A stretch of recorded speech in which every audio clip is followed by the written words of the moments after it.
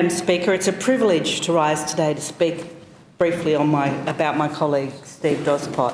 I actually knew about Steve before I'd met him when I worked with his son Adam. And then I had a little bit to do with him during the 2012 campaign here in the ACT. But I do recall during door knocking in Calwell one late afternoon, early evening, and I knocked on a particular door. A very lovely lady opened the door. She was very friendly. She was obviously a Liberal voter. And she said, Come on in. And I did. It was Maureen.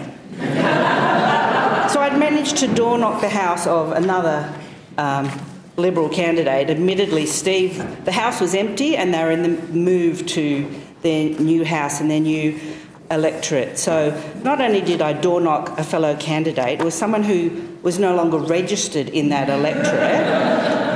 And of course, was unlikely to vote one for me anyway because they would have put themselves as number one. So, anyway, it was a nice kind of interlude, but a waste of my time as a door knocker.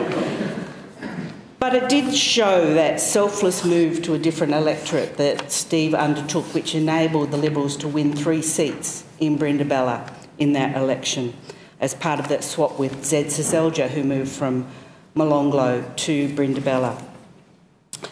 So, Steve, as we've heard, is one, I think, the only person who represented three different electorates in his time in the Assembly of Brindabella, um, Molonglo and Kurrajong. And it's something that probably will not be repeated. Early on, when I first joined the Assembly, I recall Steve's campaign about Green Square, the regreening of Green Square.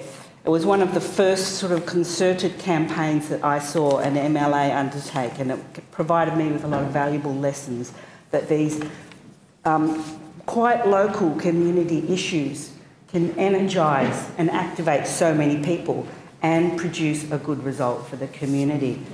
A couple of others that in the long list of achievements that Steve's been able to do despite being in opposition that really resonated with me included um, it was, in fact, I think before my time here, the Shepherd Centre, having worked previously in the deafness sector, sector, I understood how important that lobbying and advocacy was and was very grateful for Steve's work in that area.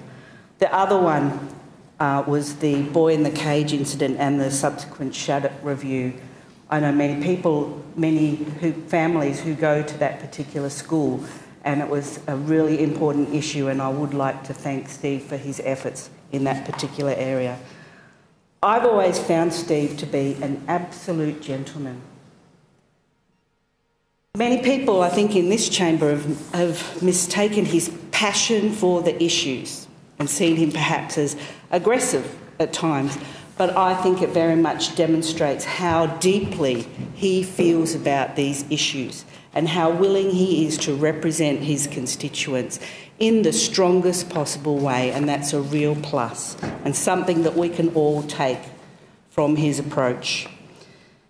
I've especially appreciated his passion for education, sport, and disability, and of course, those fabulous fundraising trivia nights which have raised so much money for important organisations in our community. When I first started in the Assembly, Steve invited me along to a whole lot of events with him. He was very inclusive and supportive and friendly. We got to the point at one stage where there were so many photos of us together that we started to joke that our respective spouses might start to get a bit jealous and think something was going on. So, whilst we still kept going to a few events, we took less photos.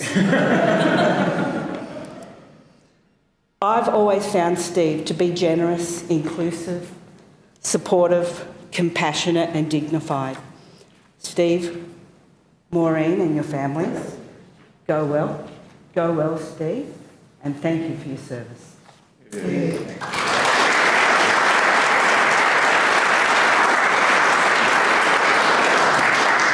Mr Wall. Thank you. Uh